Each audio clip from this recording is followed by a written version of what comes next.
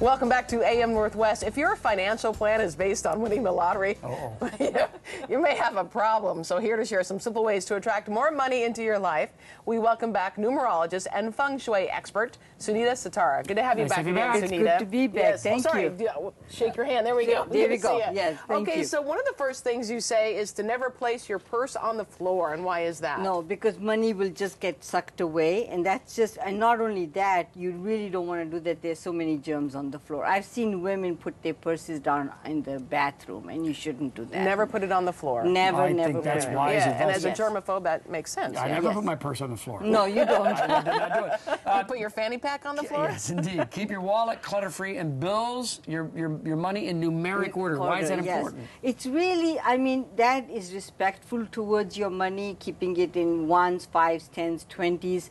And ju- I always just straighten out my money. I, if you just wad it up and put it around in different places, then that is being disrespectful towards your And, money. and, and why keep your wallet clutter-free?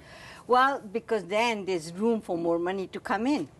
Oh, oh there you go. It's that simple. So It's take the business simple. cards out. Take the, and never, and never carry someone else's business card in your wallet. Really? Never. Uh-oh. You don't want someone else's financial energy in your wallet. I only have the business cards of my doctors, and they seem to be doing okay.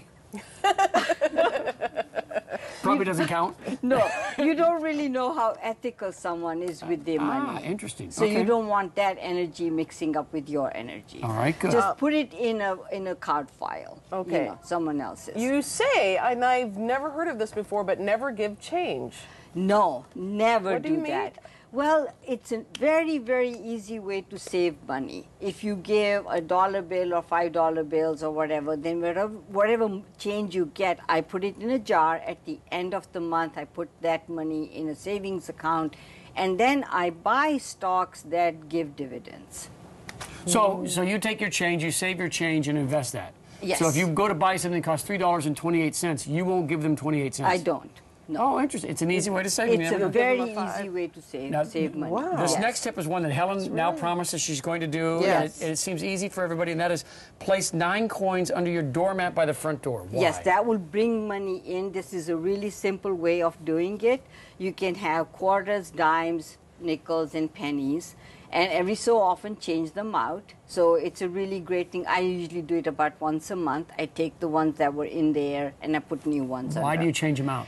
I think it's just good to go ahead and change the energy out because uh, you, you really want to always move things around because that's stagnant energy, and even that can get stagnant. And So- why the number nine?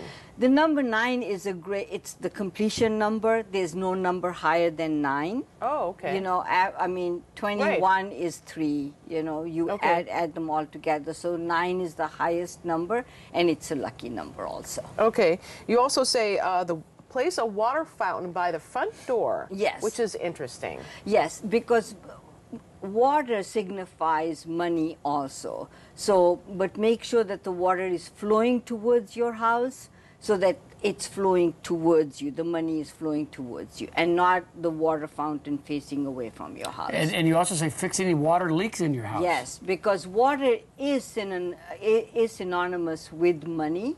So if you have a silent leak, that means money is just slipping Oh, well, through that your fingers. makes a whole lot of Doesn't sense, it? yeah. Because I mean, really, you are paying for the water right. also. And it's leaking, so get Yes. that fixed. Yes. Um, okay, you say keep the stove clean. Yes, because the stove is also a money generator, so you need to make sure that your stove is not only clean but it's also in good working order.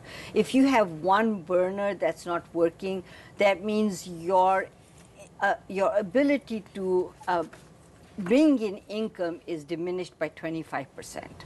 Interesting. Huh. Now you have you you have the red pouch with you. Yes, and I that- do. That's not by accident. No. What's in there? There's 27 shiny.